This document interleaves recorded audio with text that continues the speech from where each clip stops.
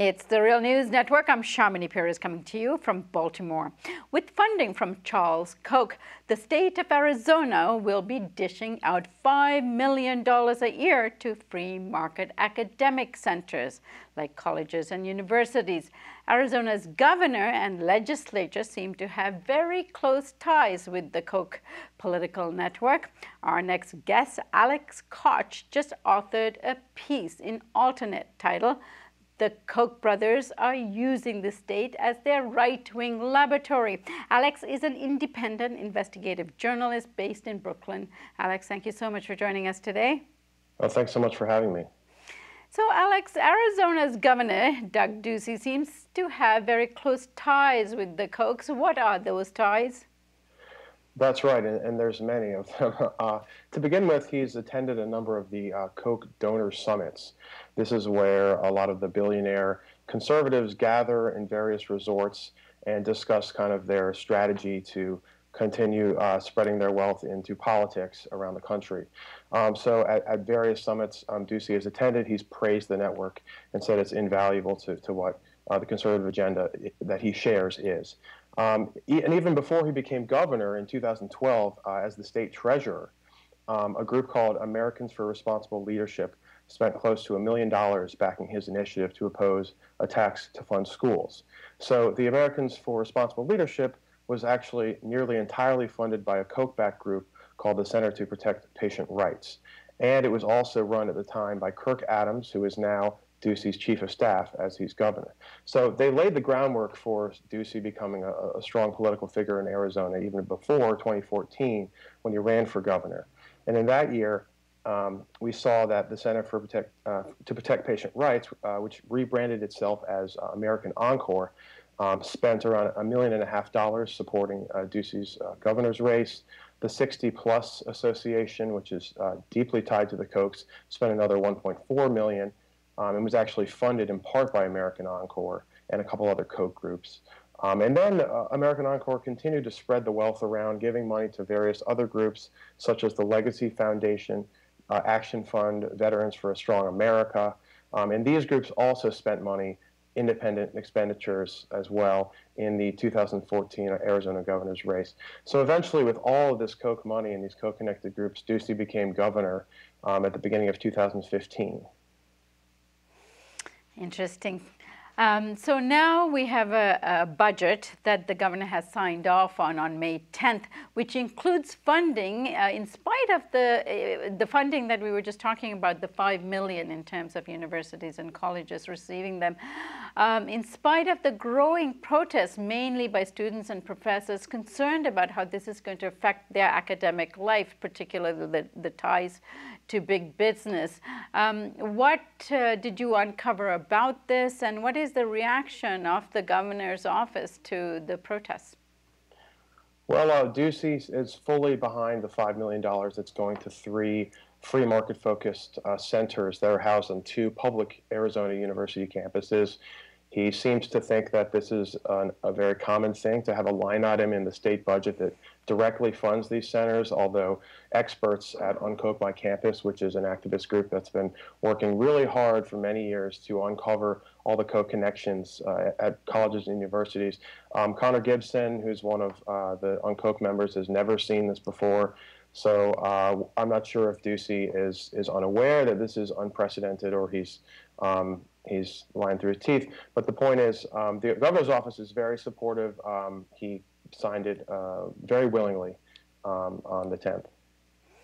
And uh, you uh, have called this uh, or titled this article you did on Alternet uh, that um, Arizona is being used as a laboratory. What did you mean by that? Um, well, yeah, I mean, it's a laboratory not just because of um, Doug Ducey, the Koch candidate, becoming governor, but because of the whole state legislature, or much of the legislature rather, um, got there um, with help from at least Koch linked groups. Um, so there are a number of groups that spend on state legislative elections.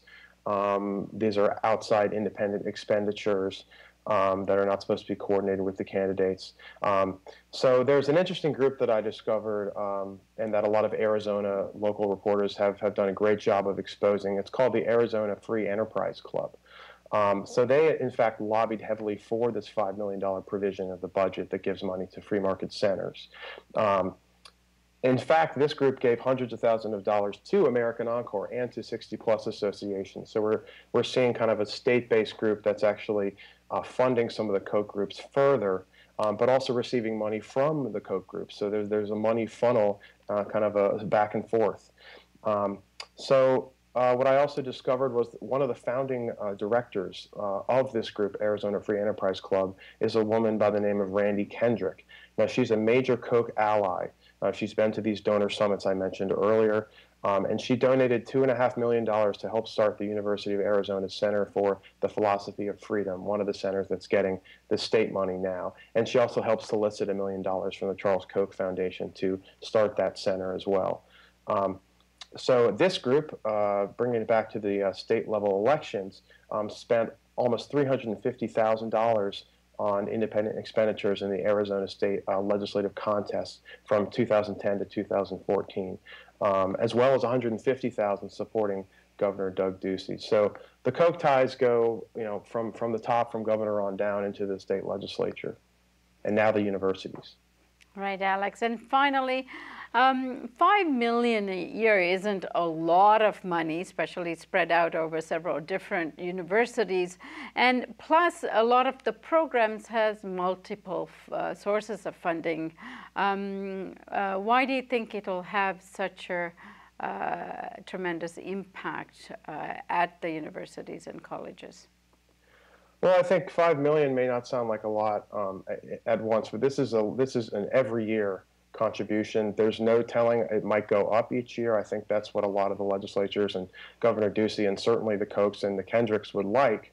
Um, so I think that this is this is starting a, a pretty dangerous precedent where you have private, um, ideologically uh, opinionated people like the Kochs, like the Kendricks, putting money in to start these centers, but then letting the state pick up the tab for years to come.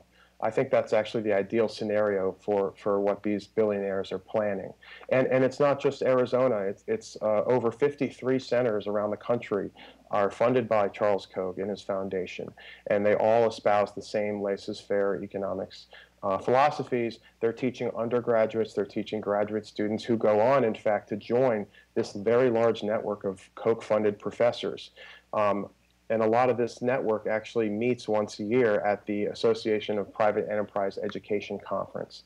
And if, uh, if you can check out my article on Alternet, it's also republished on Salon and a couple other publications. I have a map that it kind of outlines this very tight network of professors, many of whom have gotten their doctorates at various universities like George Mason University, Florida State University, where the Kochs have funded those economics programs, and they're going to these other schools and they're founding centers and they're part of just I can't emphasize enough a very tightly knit network that collaborate on um, things like say how to start a new free market center or how to divert state resources into that center once it's established.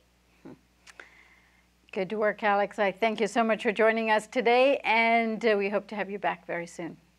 Uh, I do too. Thanks so much for having me. And thank you for joining us on the Real News Network.